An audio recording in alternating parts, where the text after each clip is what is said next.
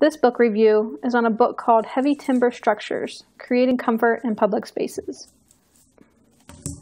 The book opens with an intro that highlights wood as the only structural building material that is deeply intertwined with the human spirit, having a positive effect on human emotions, reducing blood pressure and heart rates, and being warm to the touch.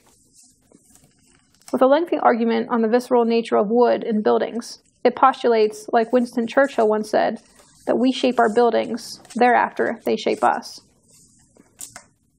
The book is actually a monograph of some of Lancaster County Timber Frame's heavy timber projects. 35 projects, actually. Most of them are on the East Coast and centered around Pennsylvania and nearby states. The projects are divided by type of structure religious buildings, restaurants and bars, healthcare buildings, government, clubhouses, historic reconstruction, and retail. The projects referenced in the book are all public commercial projects. They're all excellent primers on timber framing, showing the various ways heavy timber construction can enhance architectural design and the spaces they enclose. It's a nice variety, but it would have been nice to see some residential projects included. But I'm really hoping that this is a topic for a later publication. Each of the projects is beautifully composed with full color photos, text descriptions, and working drawings. What I really like maybe because I'm drawn to details or how things go together, is the combination of design drawings, working construction drawings, 3D computer models, and construction photos.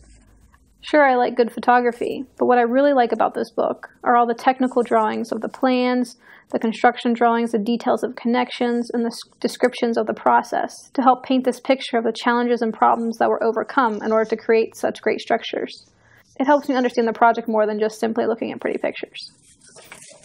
I was able to visit a few of these projects while on a trip to Lancaster to review progress on some timber frames that we used on a residential project.